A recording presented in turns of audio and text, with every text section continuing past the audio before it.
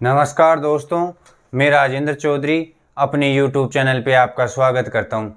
देखो, अपन मैथमेटिक्स कर रहे थे, मैथमेटिक्स पढ़ रहे थे। मैथमेटिक्स में अपन ने इंटीरियर एंगल बाइसेक्टर और एक्सटीरियर एंगल बाइसेक्टर से क्वेश्चन कर रहे थे।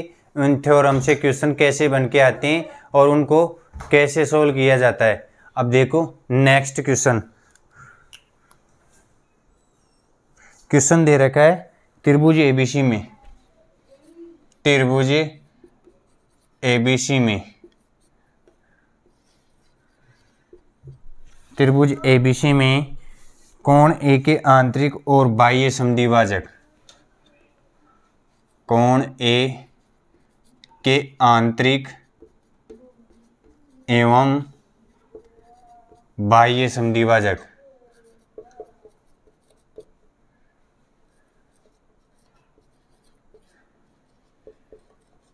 भाजक क्रमशः भुजा, बीसी को डी व ई बिंदु पे काटते हैं। व ई बिंदु पर काटते हैं। ठीक है?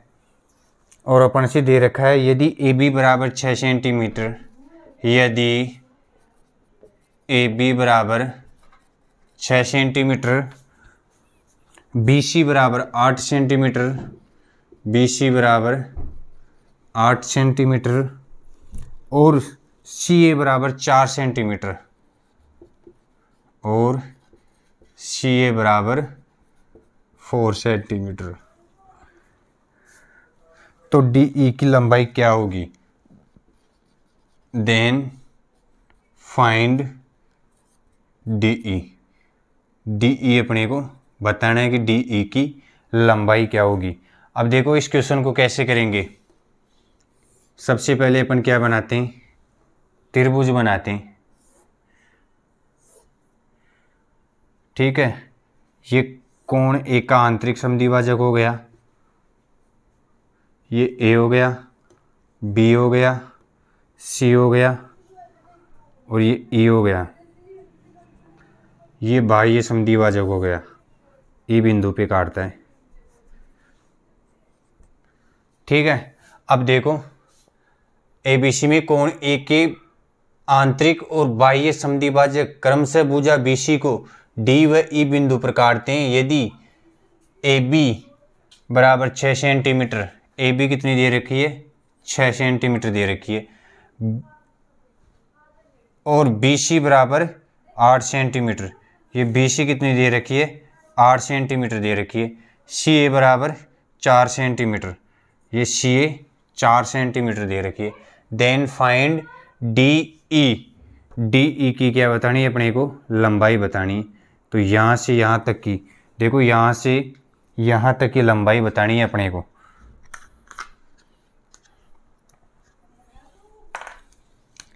ये डी ई की लंबाई बतानी है, यहाँ से यहाँ तक की लंबाई बतानी है।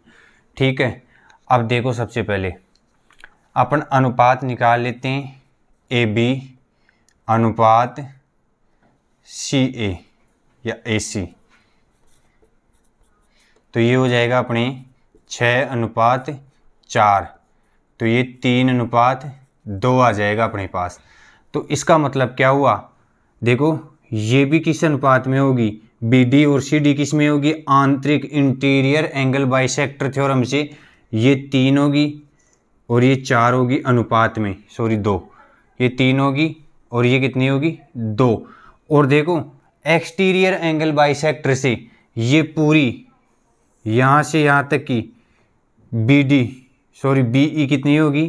तीन होगी और सी ई कितनी होगी? ये दो होगी। ये एक्सटीरियर एंगल बाइसेक्टर थ्योरम से होगी। बी, ई, तीन होगी तो सी सी, ई कितनी होगी? सी, ई दो होगी। तो यहाँ से देखो, ये पूरी तीन है और सी, ई दो है। इसका मतलब ये यहाँ से यहाँ तक की कितनी रह गई? एक्सटीरियर एंगल बाइसेक्टर थ्योरम से एक रह गई ये। ये वाली वैल्यू कितनी रह गई? एक रह गई। तो देखो, अब इस क्वेश्चन को कैसे करेंगे? तो यहाँ से देखो, ये एक है, एक की वैल्यू कितनी दे रखी है? आठ दे रखी है। एक की वैल्यू क्वेश्चन में कितनी दे रखी है? आठ दे रखी है। देखो बीसी की लंबाई अपन ने अनुपात में निकाल लिया exterior angle bisector theorem से। बीसी की लंबाई कितनी हो जाएगी? एक। एक की वैल्यू क्वेश्चन में आठ दे रखी है। तो पूरी तीन की निकाल लेंगे अपन। पूरी तीन की वैल्यू कितनी हो जाएगी? पूरी तीन की वैल्यू हो जाएगी चौबीस चौबीस सेंटीमीटर। पूरी तीन की वैल्यू मतलब बी ई की लंबाई हो गई है बी ई कितनी हो गई? चौबीस सेंटीमीटर हो गई। अब देखो इंटीरियर एंगल बाइसेक्टर तीन की चौबीस हो गई तो दो की कितनी हो जाएगी? यहाँ से ये सी ई की लंबाई निकाल लूँगा मैं। तो दो की कितनी हो जाएगी? दो की सोलह सेंटीमीटर। तो देखो सी ई की लंबाई आ गई है कुल मिला के मेरे को निकालना क्या है? D C plus C E D C plus C E यही निकालना है। ये बराबर हो जाएगा मेरे डी ई के। तो देखो, मैंने सी ई की लंबाई तो निकाल ली। कितनी निकाल ली? 16 सेंटीमीटर। मेरे को कुल मिला के डी सी की लंबाई निकालना है। अब इसमें देखो interior angle by sector theorem से। ये exterior angle by sector theorem हो गई। एक्सटीरियर एंगल बाई सेक्टर अब देखो interior angle bisector interior angle bisector theorem से. ये देखो. ए बी अनुपात ए सी छः अनुपात चार. तो कितना रह गया? ये तीन अनुपात दो. ठीक है? ये तीन अनुपात दो के अनुपात में क्या करेगी? विभाजित करेगी. अब पूरी पाँच की वैल्यू कितनी दे रखी है? आठ. पूरी पाँच की वैल्यू कितनी दे रखी है? आठ. ये देखो तीन और दो। इंटीरियर एंगल बाई सेक्टर से पाँच की वैल्यू कितनी हो गई? आठ। तो डीसी की लंबाई यहाँ से कितनी हो जाएगी? डी सी डी सी दो है तो दो की वैल्यू कितनी हो जाएगी? तो यहाँ से ये हो गया सोलह बटा पाँच। डी सी की लंबाई कितनी आ गई? सोलह बटा पाँच। अब देखो यहाँ पे। ये डी सी सोलह बटा पाँच हो गई। और ये सोलह हो गई। ये मेरे को डी ई की लंबाई प्राप्त हो जाएगी। तो यहाँ से देखो नाइन्टी सिक्स बटा फाइव ये क्या हो गई मेरी? डीसी की लंबाई आ गई और यही क्या है? आंसर है। इसको और भी सोल्व कर सकते हैं। देखो, ये हो जाएगा। ठीक है? तो देखो ये एक्सटीरियर और इंटीरियर एंगल बाइसेक्टर थ्योरम का क्या था? एक मिक्स्ड क्वेश्चन था, जो मैंने आपको क्या करवा दिया है यहाँ पे? सोल्व करवा दिया है। इसका आंसर उन्नीस पॉइंट दो होगा। नाइन्टी सिक्स में फाइव का भाग लगाएँगे अपन। नाइन्टी सिक्स को फाइव से डिवाइड करेंगे तो उन्नीस दशमलव दो क्या हो जाएगा इसका? आंसर हो जाएगा। ये मिक्स्ड क्वेश्चन हो गया और इन क्वेश्चनों को कैसे सोल्व किया जा सकता है? देखो, पहले यहाँ पे क्या अपने को देखो डी ई की लंबाई पूछा है तो डी सी और सी ई दोनों मिला के डी ई होता है। तो पहले एक्सटीरियर एंगल बाई सेक्टर से मैंने सी ई की लंबाई निकाल ली और इंटीरियर बाई एंगल सेक्टर से डी सी की लंबाई निकाल ली और दोनों को जोड़ दिया। तो मेरे पास उन्नीस पॉइंट दो, इसका आंसर आ गया डी ई की लंबाई आ गई मेरे पास। ऐसे इन क्वेश्चनों को सोल्व किया जाता है और ऐसे ही क्वेश्चनों को क्या करेंगे अपन? सोल्व करेंगे। ये बेस्ट तरीका है इनको सोल्व करने का। ठीक है? तो ये क्वेश्चन अपने एक्सटीरियर और इंटीरियर एंगल बाई सेक्टर का मिक्सड क्वेश्चन हो गया। अब इससे आगे देखो। आपको मैं स्टूवर्ट थ्योरम पढ़ाऊँगा। स्टूवर्ट थ्योरम किस काम में आएगी अपने? स्टूवर्ट थ्योरम अपने जो ये एंगल बाइसेक्टर है, इसकी लंबाई ज्ञात करने के लिए स्टूवर्ट थ्योरम का प्रयोग किया जाता है। लेकिन स्टूवर्ट थ्योरम को पढ़ाने से पहले कोसाइन रूल पढ़ाऊँगा मैं आपको। कोसाइन रूल से ही स्टूवर्ट थ्योरम निकल के आती है। तो पहले देखो कोसाइन रूल। तो हेडिंग डालनी है। Cosine rule.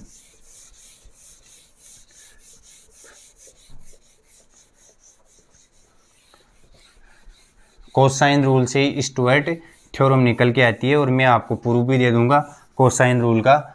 कहाँ से कोसाइन रूल बना है अपना और किस तरीके से अपन ट्राइंगल में इसका अप्लाई कर सकते हैं।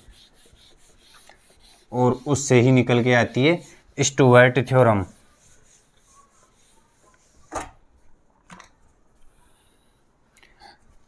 तो हेडिंग डालनी है कोसाइन रूल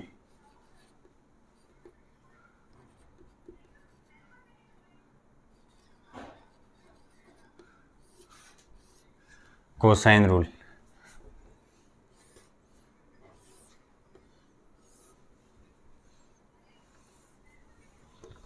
थोड़ा बड़ा बना लेते हैं।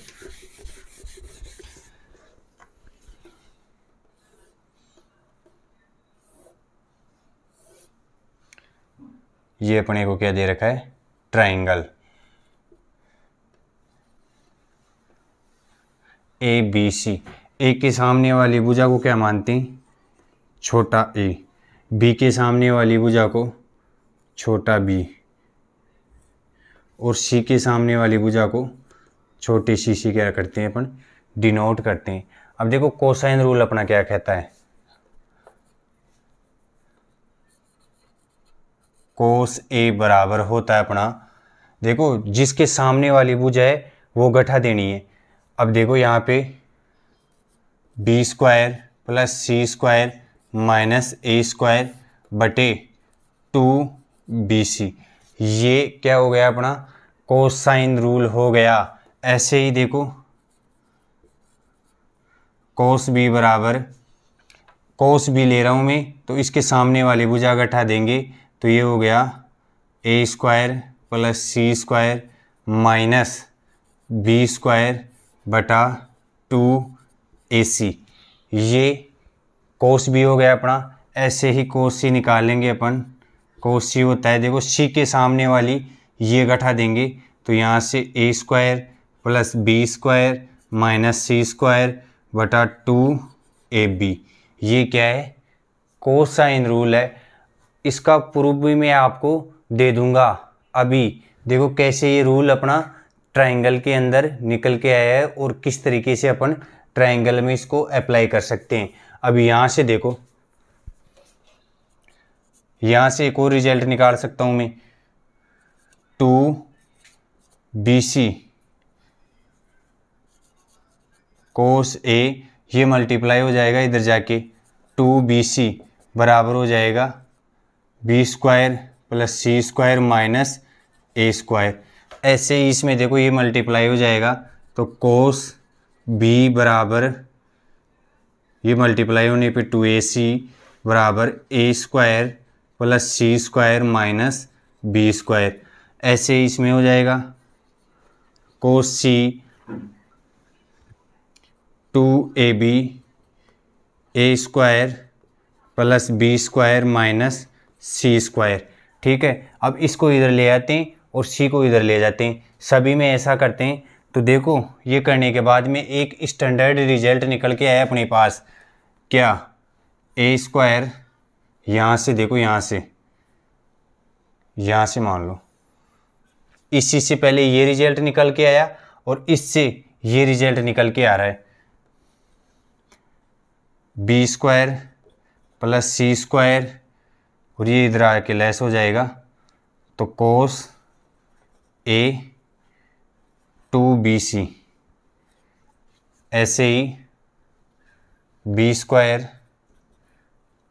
A square plus C square minus cos B two A C. और ये यहाँ से C square, A square plus B square minus cos C two A B. ये क्या हो गया? अपना एक स्टैंडर्ड रिज़ल्ट हो गया और इसको आपको दिमाग में ही बिठा लेना है। ये अपने, ये याद नहीं रख सकते, अपने दिमाग में नहीं बिठा सकते तो केवल इन तीनों रिज़ल्ट को तो अपने दिमाग में ही बिठाना है। अभी देखो प्रूफ दे दूँगा मैं, कहाँ से आया ये रूल ये रूल क्या होता है अपना? कोसाइन रूल होता है और इसमें देखो इसको इधर मल्टीप्लाई कर दिया मैंने, और फिर क्या किया? ये देखो A square minus A square है, इसको इधर ले आया प्लस में हो गया, और इसको इधर ले गया, ये किसमें हो गया? माइनस में हो गया। तो यहाँ से ये एक अपने पास क्या निकल के आ जाता है? स्टैंडर्ड रिज़ल्ट निकल के आ जाता है, ठीक है? और इसमें अपन देखो, इसी कोसाइन रूल से ही क्या बनी है अपनी? स्टूवर्ट थ्योरम बनी है, जो मैं आगे पढ़ाऊँगा आपको, और उसी से अपन क्या एंगल बाइसेक्टर की लंबाई ज्ञात कर सकते हैं। तो इस रूल को उतारो, इसका प्रूफ दूँगा मैं, कहाँ से ये रूल आया है। देखो नेक्स्ट नेक्स्ट में क्या कर रहा हूँ, इसका आपको प्रूफ दे रहा हूँ कोसाइन रूल कहाँ से आया है, कैसे आया है। आपको तो केवल ये रिज़ल्ट ध्यान रखना है, जितने स्टार हो सकते हैं, उतने स्टार अपने कॉपी में नोटबुक में लगाना है, और इस नियम को क्या करना है, ध्यान में रखना है। इससे देखो साइन रूल से, कोसाइन रूल से क्वेश्चन में आपको ज्योमेट्री के अंत में करवाऊँगा, क्योंकि इनसे एसएससी में, इनमें प्रीवियस ईयर में बहुत कम क्वेश्चन आए हुए हैं, इसीलिए वो क्वेश्चन मैं आपको बाद में करवाऊँगा। ये थ्योरम समझानी मेरे को इसलिए पड़ी क्योंकि इसी से अपनी स्टूअर्ट थ्योरम निकल के आई है और स्टूअर्ट थ्योरम से अपन एंगल बाइसेक्टर की लंबाई ज्ञात कर सकते हैं। अपन अभी एंगल बाइसेक्टर पढ़ रहे हैं तो एंगल बाइसेक्टर से एक भी क्वेश्चन अपना छूटना नहीं चाहिए, इसीलिए ये थ्योरम आपको पहले समझानी पड़ी। देखो कहाँ से, ये रूल कहाँ से आया है? उसका प्रूफ देखो।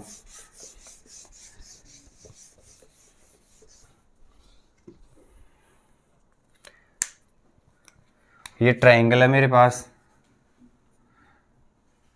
इस ट्रायंगल की ये मैंने हाइट बना ली। हाइट हमेशा नब्बे डिग्री पे, सामने वाली भुजा पे नब्बे डिग्री पे काटती है। सामने वाली भुजा पे क्या होती है? लंब होती है। तो ये क्या हो गई इसकी? हाइट हो गई। अब देखो, इस भुजा को मैंने क्या मान लिया? एक्स तो ये मेरी भुजा क्या हो जाएगी? ए माइनस एक्स ये भुजा क्या हो गई? ए माइनस एक्स इसको x माना तो ये वाली भुजा क्या हो गई? A माइनस एक्स हो गई। अब देखो, यहाँ से देखो, ये क्या हो गई त्रिभुज की? हाइट हो गई। अब देखो, त्रिभुज ए बी डी में, ये वो डी पॉइंट मान लेते हैं इसको। डी पॉइंट ठीक है? ये ए बी डी त्रिभुज ए बी डी में देखो। इसमें हाइट कैसे निकालेंगे? पाइथागोरस परिमेय का उपयोग करके अपन इसमें से क्या निकाल सकते हैं? हाइट निकाल सकते हैं। ये नब्बे डिग्री का कोण है, ये कर्ण हो जाएगी। ठीक है? ये लंब हो गई और ये आधार हो गई। तो देखो हाइट कैसे निकालेंगे इसमें से। हाइट कैसे निकलेगी? सी का स्क्वायर माइनस एक्स का स्क्वायर इस करण के स्क्वायर में से यदि बेस का स्क्वायर माइनस कर दूँगा तो ये मेरे पास क्या निकल के आ गई? इसकी हाइट निकल के आ गई। ऐसे ही देखो triangle A D C triangle A D B में मैंने हाइट निकाल ली। ऐसे ही देखो triangle A D C A D C में इस भुजा की लंबाई कैसे निकालेंगे? ये क्या हो गई? हाइट इसकी लंबाई कैसे निकालेंगे? ये बी स्क्वायर इसमें से गठा देंगे अपन ए माइनस एक्स का होल स्क्वायर ये गठा देंगे। ये देखो, नब्बे डिग्री का कोण हो गया, इसके सामने एक कर्ण हो गई। कर्ण में से ये वाली भुजा गठा देंगे। तो इस ए डी सी में इस वाली भुजा की क्या आ जाएगी? ये लंबाई आ जाएगी। अब यहाँ से देखो, दोनों हाइट अपने क्या हो गई? बराबर हो गई। तो यहाँ से C square minus X square. और इन दोनों हाइटों को देखो ये त्रिभुज की दोनों क्या हो गई? हाइट हो गई। इनको अपन ने निकाला, त्रिभुज, दो अलग अलग त्रिभुजों में प्रयोग करके निकाला, पाइथागोरस परिमेय को। तो यहाँ से ये हाइट और ये हाइट बराबर हो गई। इसको देखो a माइनस बी के होल स्क्वायर से खोल लेंगे। तो ये क्या हो गया अपने पास? A square minus X square plus two A X ये हो गया। अब यहाँ से देखो, ये माइनस एक्स स्क्वायर और ये माइनस एक्स स्क्वायर कट गया। अब यहाँ से ये टू ए एक्स है। ये क्या रह गया अपने पास? C square B square minus A square plus two A X. अब यहाँ से देखो।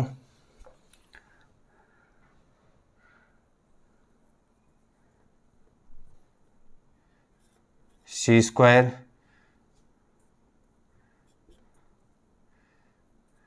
इसको एक तरफ़ ले लेते हैं, इसको इधर ले आते हैं। Two A X. B square minus A square. और माइनस सी स्क्वायर। अब यहाँ से देखो, माइनस कॉमन, ये प्लस है, इधर आके माइनस में हो जाएगा तो ये माइनस कॉमन लेने पे माइनस से माइनस कट जाएगा तो टू ए एक्स बराबर हो जाएगा A square plus C square minus B square. अब देखो, इस टू ए को इसके नीचे ले आता हूँ तो एक्स का मान यहाँ से आ गया, A square plus C square minus B square और ये टू ए। ठीक है? अब देखो दोनों तरफ़ सी से भाग लगाने पे। दोनों तरफ़ सी से भाग लगाने पे। दोनों तरफ़ क्या कर रहा हूँ मैं? सी से भाग लगा रहा हूँ। तो यहाँ पे देखो, ये हो जाएगा एक्स बटा सी बराबर हो जाएगा अपना A square plus C square minus B square बटा ये टू ए है। सी से भाग लगाने पे टू ए सी हो जाएगा। अब यहाँ पे देखो एक्स बटा सी एक्स बटा सी को मैं क्या लिख सकता हूँ? एक्स बटा सी ठीक है? एक्स ये हो गया और बटा सी मतलब ये क्या हो गया है मेरे पास? ये देखो, ये कोण लूँगा मैं, इसकी जगह कोष भी लिख सकता हूँ मैं, क्योंकि इस कोण को लेने पे ये क्या हो जाएगी मेरे पास कर्ण और ये क्या हो जाएगा आधार, ये क्या हो जाएगा लंब, कोस सी को लेने पे, कोस बी को लेने पे सॉरी कोस बी को लेने पे ये आधार हो गया, ये कर्ण हो गया नब्बे डिग्री के सामने और ये लंब हो जाता है। तो एक्स बटा सी आधार बटा सी देखो कोस क्या होता है, कोस बराबर होता है, आधार बटा कर्ण ये अपना क्या होता है? कोस होता है। तो देखो, यहाँ पे कोस भी लिख सकता हूँ मैं। कोस भी लिखूँगा तो ये क्या हो जाएगा? आधार और ये बटी में क्या हो जाएगा? कर्ण यहाँ पे भी देखो, आधार बटा कर्ण दे रखा है। तो कुल मिला के मेरे पास ये रिज़ल्ट आ गया। और ये अपना क्या हो गया? प्रूफ हो गया।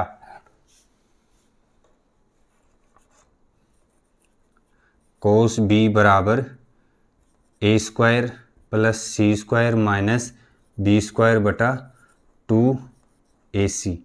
ये रिज़ल्ट अपने पास निकल के आए। ऐसे ही उन और जो दो बचे हुए हैं, उन कोणों को भी अपन क्या कर सकते हैं? सिद्ध कर सकते हैं। ये क्या हो गया? इति सिद्धम। इति सिद्धम।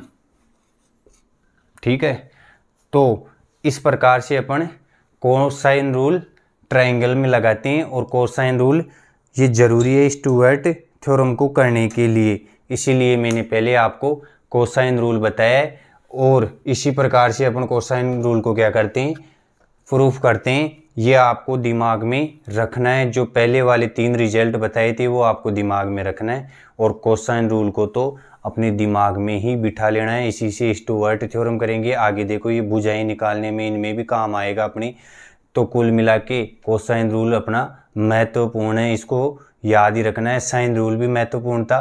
साइन रूल से अपनी interior angle by sector theorem और exterior angle by sector theorem निकल के आई थी। तो देखो आज के लिए इतना ही। काफ़ी है। धन्यवाद।